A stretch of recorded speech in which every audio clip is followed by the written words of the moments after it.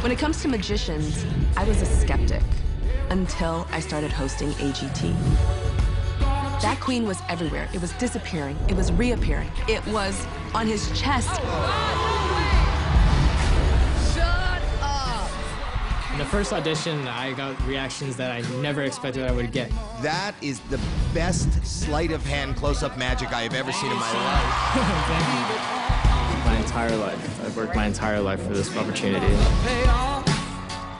Through the struggles and the trade-offs. Magic is about presentation.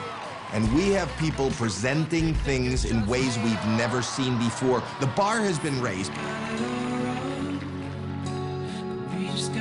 Out of all the magicians out there, you're the only one that actually makes me believe that magic can be possible.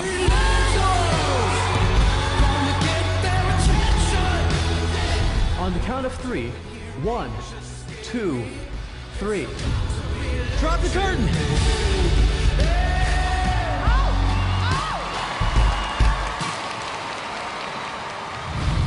AGT is the biggest stage in the world. There's nothing else like this.